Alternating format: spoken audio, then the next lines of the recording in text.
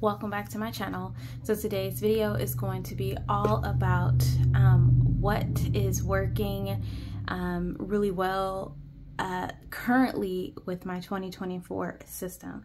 So you guys know that I've been using the Hemlock and Oak daily and then I also been using the Leuchtturm A6 um, daily and weekly. And those two have been chef's kiss so I wanted to talk to you guys about what I've been doing and kind of give you some flips and just talk about like what I'm really gravitating to in this current phase um, of my planning. So let's go ahead and get started.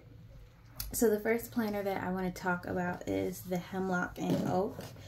Um, so I I really like this planner, but I have some internal mixed feelings about it.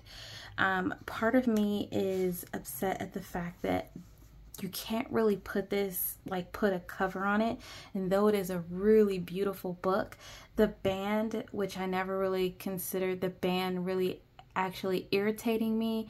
It really does irritate me and I kind of understand why people cut theirs off. This one is completely removable, but if I remove it, then everything that I have tucked in it will go flying everywhere and then I won't feel like I want to take the book because I'll I'll have nothing to keep this closed.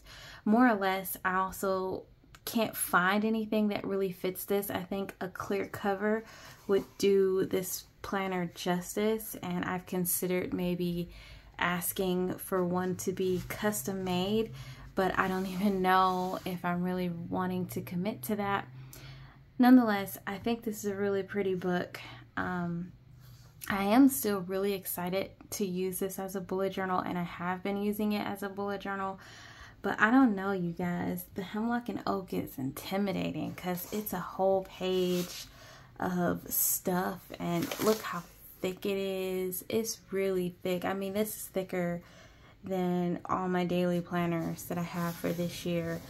And yeah it's it's a little big. I mean and the fact that it's such a minimal design and also the fact that there's free range to do whatever is a little intimidating because I've been so used to some form of structure when it comes to like the plum planner or when it comes to like my bullet journals. I have in my mind how I'm going to set up my bullet journals and so I follow that and I don't really stray from that.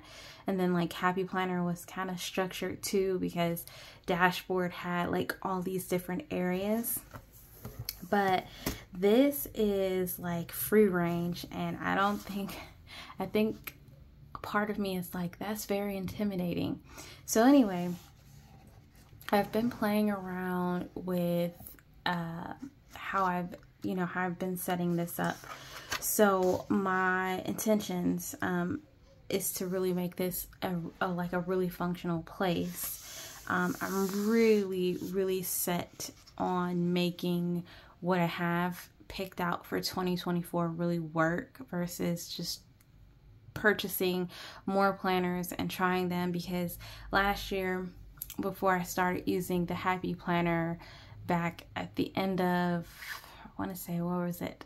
July end of July um, I was bouncing around in the beginning of the year, mainly sticking to the plum planner, but really bouncing around, trying to really find like what I really liked the most. Um, but nonetheless, I've stuck a pocket here and my intentions is to make like my ideal routine schedule. So most of you know uh, I follow a schedule. I put my son on a schedule. It works for us. Um, and so sometimes I want to do other things and I try to rearrange our schedule to fit, you know, like my personal needs or wants and sometimes it works out, sometimes it doesn't. So what I wanted to do was map out like what would my ideal day look like um, if I use time very effectively. I know realistically that doesn't always span out because life happens, things happen, and yeah, this thus far things do happen. So um, I stuck this in here. This also has a couple of little other things behind it. I'm really trying to get this out of here, but I couldn't. And excuse my hands, I washed them, so if they look dry, they are. Um, yeah, I just put like another little monthly tracker in here and like two of these AM and PM routine sheets because like I said, I wanted to create some ideal routines. Initially, I wanted to put like a key here, like a like a bullet journal key, but I was like, I don't I haven't used, my goodness, this is going to drive me crazy. I haven't used a key in such a long time, so it would be just there at this point. So let's go ahead and look at um, January thus far. So this is what January's monthly is looking like. I've been using this to jot down specifics that may be coming up for the particular week that we're in. So um, instead of, you know, like pre-filling them into the days, I've just been using the sidebar to pre-fill things that may be coming up. Um, I know I can always use sticky notes, but most of this that I've written here, I know are set in stone. It's just that I don't know specific days because those kind of things can change, but I know that the thing that I've written is going to happen. This is my countdown to when my husband comes back and been definitely keeping up with that. Um, and then these are the dailies. So I wanted to walk you guys through what these dailies have consisted of. So thus far, I've been using like what one thing that I want to focus on for the day. Like I mentioned in my 20 my official 2024 lineup, I intend to use this planner exactly how it is laid out, which is a focus, your intentions, your schedule, and then your today, which basically like your to-do list, notes, what have yous. Um, so it really works for me um, because it's similar to, and that's part of why I chose this planner, is because it's similar to mapping out some different areas of my day. And so um, I chose this specifically for that. Now, if I didn't want to follow this planner as it was intended, then I would have just chose a bullet journal because then in that regard, I could you know, do what I needed to do, make things the way I needed to make them. But I just don't have time for like a real bullet journal this time around. So this works for me. So I have one thing that I'm focusing on for the day, and then um, have some intentions, intentional things that will probably get touched, maybe won't get touched throughout the day. So those are like my intentions um, for you know getting through the day and then like I have my standard to-do list and then maybe some notes or maybe journaling so that has been working really good for me and then I have like our Monday through Friday routine which Monday through Friday is the most busiest days because my son has appointments. I might have to go grocery shopping. Um, I might have to leave the house for something. We may have something going. It, it just never, you know, it's it, it's always something going on Monday through Friday. So Monday through Friday are really busy and you'll see that. And then this planner came with the weekly stickies because this was a pre-order. And so um, I got the weekly stickies for free. And so I just used this to basically map out my my week so like my appointments are highlighted for me so that if I were to use just this planner solely and nothing else, at least I know everything is here. So like all my days are here, the months are here, and then the week is here. This was Tuesday, obviously beginning of the year. There's not a whole lot going on um, anyway, so you won't see a whole lot of anything, but um, this is what Tuesday and Wednesday look like. Again, keeping up with routines. This is something relevant to what I did in my happy planner and other planners, which was taping things in. So like I did a bit of journaling here.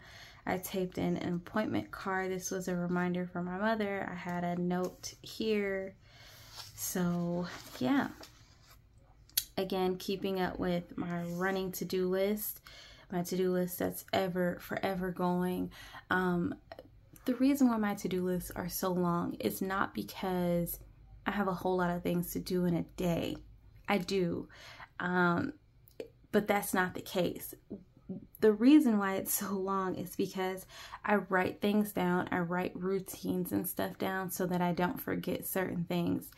Even though I know what our routines are um, in the AM and in the PM, sometimes I change things. Like lately, I've been bathing my son like every other day and maybe washing him down on the days that I don't like do like a tub bath because I get really tired. I usually bathe him every day, but lately in these like winter months when he's has he hasn't been anywhere, he's not really dirty, so I just wash him up. And so I remember those because if I didn't, you know, like remember that then I don't know. I probably just do usual routine. Um sometimes I have so much stuff going on in my head that I just need to put it down on paper. So mapping it out in a to-do list and then checking it off, be like, did I do this today? Yes, that that helps me. So there's that. And then I like to see our schedule. I like to see what times my son took naps. I like to see exactly what we did and when we did that. Um, so I like the schedule aspect of it. And then this is Saturday, Sunday.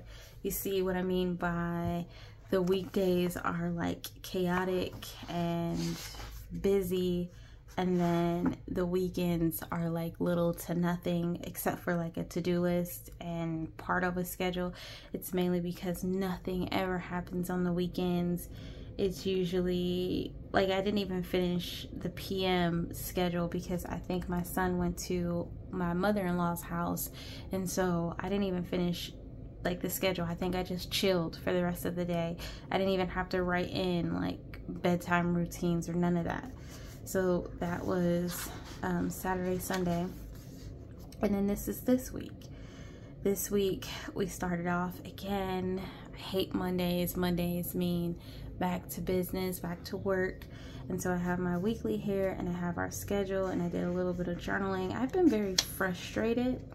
I know people probably have told me that I should be really happy that I'm home, um, considering that we came from Germany and then considering that we lived in Altus um, and we haven't really been home. But for a lot of people, including myself, home is not always a good thing for me. Um, I don't get along with my family as much, and the city in which I grew up in and lived my whole life kind of depresses me. And it's great for my son to be here um, and to be familiar with everyone and to spend that quality time. It's making me feel like I'm just, I'm so over it. Like I, I'm counting the days, the days that I can finally leave. But yeah, being home is very depressing sometimes. Um, and right now it's very depressing for me. So, um, yeah, I don't look forward to Mondays because I know that Mondays mean back to work and it feels like when I used to live here and work here, it just, ugh, I hate it. Rush hour is horrible. Winters are horrible. I'm doing a lot of driving in the city in which I hate. So yes, I hate Mondays. Weekends, I don't do too much of that. So there's that. And then this was yesterday, basic basic Wednesday. And then I made this. Basically what this is, is just a junior disc bound uh, double-sided clear pocket. And all I did was cut the holes off and round out the edges so that they weren't very sharp and that they looked similar to the edges here. And I stuck an adhesive pocket on the front here and it already had double pockets so I stuck an adhesive pocket here mainly to give me quicker access to some stuff so I wouldn't have to keep shuffling things around. And then I stuck some um, things that some relevant things that I'm using in the back here. And that is like my page marker. I was thinking to buy one. I was gonna get a jelly page marker but I was like, it's like 10 bucks for just like one page marker and then I'm gonna have to pay for shipping and then wait for it to be shipped. No, no ma'am. Um, I was like, I could do that myself, just get like because obviously I'm not I don't have all of my crafting tools with me here so I'm like what can I do to make easy DIY project go get some double-sided pockets made for ditching your discbound and cut the holes off. And voila got yourself a page marker. So this works. I've stuck in some flags some dots. As you can see I use the dots. The page flags will definitely come especially when I start getting information that I've written on pages that I want to go back to and like filter through. The page um, flags will definitely work for that and mind you this book is hefty so you're probably gonna want that. And um yeah that's what Wednesday and Thursday look like. And then what I kind of do is during like some little bit of free time is I start prepping for the next day. And so I start mapping out my schedule um, and adding in some of those to-dos. So I start planning like if my son takes a nap or I get a little bit of free time, I start mapping out things so that way when bedtime comes, I'm not forgetting stuff because I'm tired, which usually happens or what has happened to me in the past with planning at night. Um, I just start forgetting things. And I also don't plan as much at night. I started planning early in the morning, like having an hour or two to sit down and look over everything. And then like, like I said, um, I kind of do a little bit of forward planning during that hour two and then like when I get free time in the middle of the day I do the rest of it. And then at some point I will touch base with this if not today um, then tomorrow early morning I will look over this and touch base so that I'm not forgetting anything important. So that has been the hemlock and oak planner and I intend to use like icon stickers and things like that. I do have icon stickers that I tucked in the back here. I I got some from like Amazon and then I cut up some like happy planner ones just to have on hand in the event that I take this planner with me. Okay, so that was the hemlock and oak. Now the second thing that I want to talk about is two things that I'm really loving a whole lot, like a whole lot. Okay, so this Midori, I am loving this so much.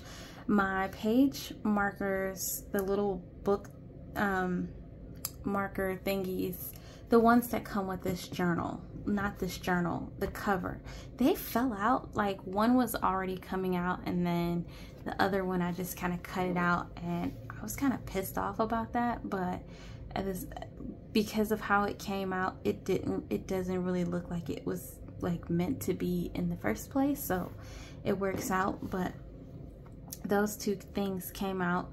But anyway, I really like this Midori so freaking much. Um, I've really been pushing back with trying really hard to not fall into trends because trends are just not my thing. And obviously, I find it so funny how everyone including myself, we jumped on the bandwagon of buying the Hobonichi. But if you look today, what is today? The the 11th, the 11th, y'all half of everybody who bought a Hobonichi is selling their Hobonichi, gave up on it, never touched it. That's what I mean by like buying stuff that you know you won't use and then you try to get rid of it. And it's just, it's funny to me how gullible we are sometimes for like stationery. Instead of just buying stuff that we know we will like and that we know we will use, we spend our money on things that we know we won't use and we know we won't like. But anyway, that's neither here or there. To each his own. Um, I really like this Midori a lot. So it's like a no fluff kind of a thing. And that's what I really like about it. It's because it is like a no fluff. It, I mean, it's kind of like the Leuchtturm, for example. A whole lot of people weren't even considering or thinking about the Leuchtturm. And then all of a sudden you see someone who's made like a viral video about it and now everybody is jumping on buying it and I'm not throwing shade at anyone but I'm just I'm trying to relay how these things work and what I'm trying to push away from. So like the Midori products are definitely really, really nice. And what I'm really liking right now is this paper. You don't see too many videos on this. And it's quite unfortunate because it does have such really beautiful paper. Um, not even just for journaling purposes, but just for like everyday use. This is what my weeks have looked like thus far. This is an undated weekly. It's just like the monthly block and then the pages look like this and then I basically just put in my weekly. It's super clean y'all and I really like it. Now what I'm really liking the most of everything is this bad boy right here. So I really like this Midori. I can even take it out because there's no more like little strings hanging here keeping it in anymore. Um, so what, like I said, like what I really like is that when you bend this back on itself, it does lay flat, like open. It will stay open. And I really like the clean aesthetic of this. I also like the allotted space. I like this more than I like the the um, hemlock and oak. And I paid quite a bit of money for that hemlock and oak with all the add-ons and then the planner in itself. But I like this better than the hemlock and oak. And I like this because of how simple it is. But also, I just really like the paper. I've already started to do stuff for February. And then when it comes to the dailies, you'll also notice some differences. I took off the stickers because they were driving me nuts something that I'm not really used to doing. So that, that junk had to go. It was driving me freaking nuts. I'm going to put my page marker back. Ooh, ooh. So like I said, this is what my daily's been looking at looking like. Oh my goodness. And then what I've been doing is basically what I've done in the hemlock and oak. My schedule. It's basically my schedule in miniature form, but it is everything in my schedule. Every little thing that I've done within that hour, I've writ written it here. And then there's notes in here. There's smart remarks. There's reminders. There's all kinds of stuff. So that's what this has been looking like and it's really fun to use because like I said I really enjoy the paper I really enjoy brain dumping my day onto this and I do the same thing with forward planning and figuring out my schedule. I like this too. I like this because this is um, smaller, a lot more portable than the Hemlock and Oak for one. And then I like the paper a lot. Um, now, I always said if they, Midori, if you, if you watching, y'all need to make this go viral.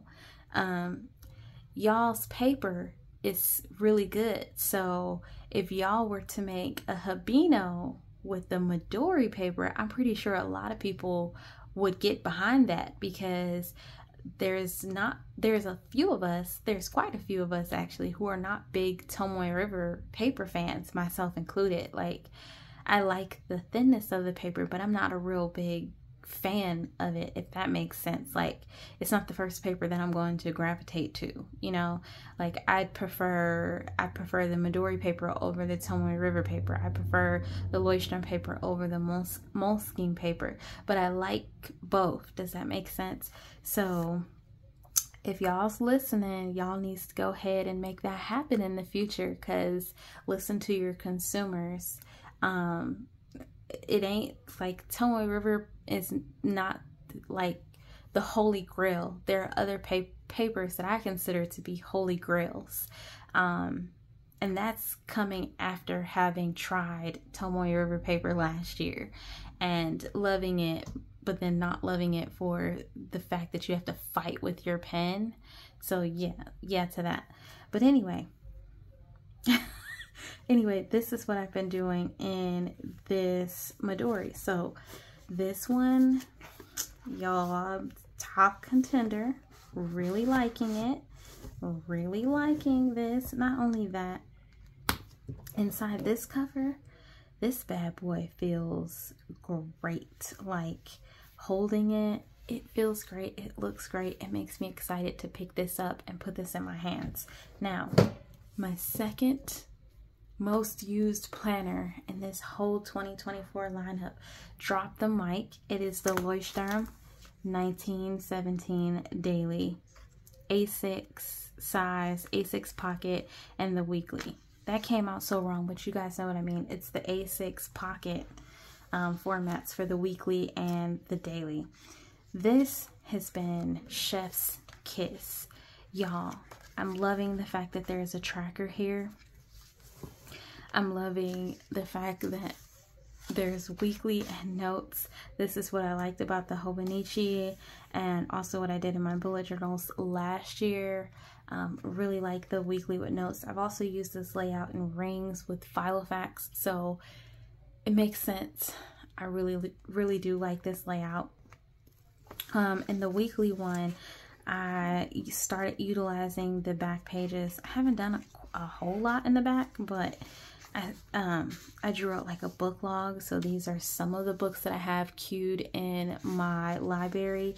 Some of them I'm currently reading and then as I finish them, I'm going to check them off. Right now, I'm, I'm reading Harry Potter and I'm finishing up the last hour of Viola Davis's book. So which like I said, it's been a really good book. It's just I only get time to to listen to read it in the morning and so yeah, that. Um but yeah, I have a book log here. What I what I also want to draw in here is like my wish list, um favorite foods. Like I want to make a whole collections back here of things my stationery purchase list. I wanna I wanna do that um, because I I just I don't know. I just want to keep track of all of that stuff. Um, the other thing that I'm really liking is this daily, which last year when I got this, I was so pumped about the Hobonichi. I didn't even think about the Leuchtturm, but then again with the trackers, but then I started playing around with the daily, the 2023 version, and loved it. So this is what my dailies have looked like thus far. So obviously January 1st and 2nd, and then Wednesday and Thursday. And as you can see, I basically just do a daily to-do list. This really works for me, just making a to-do list um, and then I make notes and I like to tape in sticky notes and things because the canvas is so small as is. And so having like sticky notes and like functional sticky notes they really help add more layers to your daily page. Um, not aesthetically but like functionally they add a lot of layers. Like you could have like a shopping list sticky note or like if this is not enough note space, you can have another note sticky note, or you could have, you know, like a whatever sticky note, like a daily tracker sticky note. Like you can do so much with, you know, like add-ins, tip-ins, things like that. Um, and then here's Sunday, here's Sunday, and then here's that note page. So what I did on the note page is I basically mapped out the following week, and then I had a shopping list that I was curating um, that I need to get um, this week when I go grocery shopping. And then I have a reminder that I need to get an oil change. So this is a sticky note on top of a sticky note. And this is what I mean by layers because these are both removable. So um, the layers definitely help add more information into your pocket, especially if you don't have like a whole lot of space allotted to begin with. And then this is this Monday. And again, sticky notes. Monday. Um, oops, did I skip a day, y'all? Oh, Monday, Tuesday, and then Wednesday. And then, of course, I started doing some decorations. And then here we are today. And again, I have a sticky note here just in case I need to expand on any information I stuck this here um, and then I use these. I know a lot of people don't use these, but I use these because they add a little bit of weight of keeping them here. But I did tie down the Leuchtturm ones. Like I tied a knot at the end of them because they're really long and instead of cutting them I just tied them but I like using the covers like bookmarks there we go bookmarks a lot better and this does stay open when you like push the spine down it will stay open. But this is what my dailies have looked like and I, like I said I'm gravitating towards this the pocket ones a lot more. This also has note pages in the back which I have not utilized yet. I don't know if I will create like a collections back here because there's not many. There's like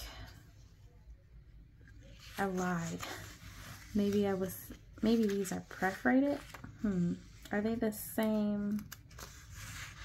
Nope, I lied. I can also do a collections back here because these are all like note pages that I can fill. Um, and I don't know, if I run out of space of things I want to collect in the weekly, then I will most definitely start my collections in the back of this or do some trackers. What I'm thinking about doing because like I said, if I were to phase out the hemlock and oak completely, this and the Midori would be like my go-tos, like the two planners that I would definitely use all year round. Um, what I'm thinking to do is add some some yearly trackers into this so that I can track what bills we pay like I did when I had my reference binder last year so I'm thinking about that I don't know if I'm going to draw it out I don't know if I'm going to buy buy something and then um, tape it in. I don't know yet. I haven't figured that out. I do have a pint size planning series playlist that all of the videos pertaining to pint size planning and um, using it and how, how to make it you know like useful how to maximize the space all of that will be um, in that playlist. So if that's something you're interested in every video that I filmed this year about pocket or in my Leuchtturm, Leuchtturm and my Midori will all go into that tab. So yes, you guys, this is my planner. This is the system and this is what I've done thus far in the short amount of time that we've had in 2024. So I hope that you guys enjoyed it. I hope that you got a little bit of inspiration from it. You've also heard me rant a little bit about the trends that's going on, and hopefully, you can stay away from those trends this year and focus on what you love. Um, that's my goal is to focus on what I love. And um, yeah, so if that amazes or amuses you, continue watching. Um, stay stay tuned for all of the other videos to come this year, and I will see you guys in the next planner related video. Bye, loves.